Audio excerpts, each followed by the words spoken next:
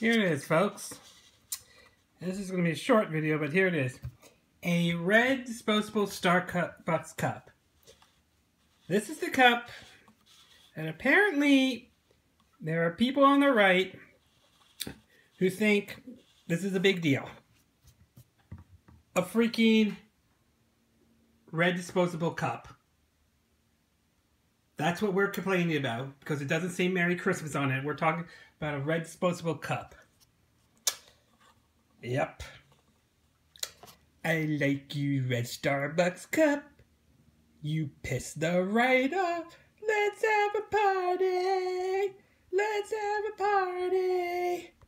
And for the record, that is a real song.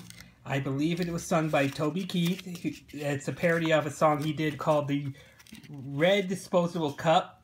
I'll put a link on it and you can see for yourself. All right?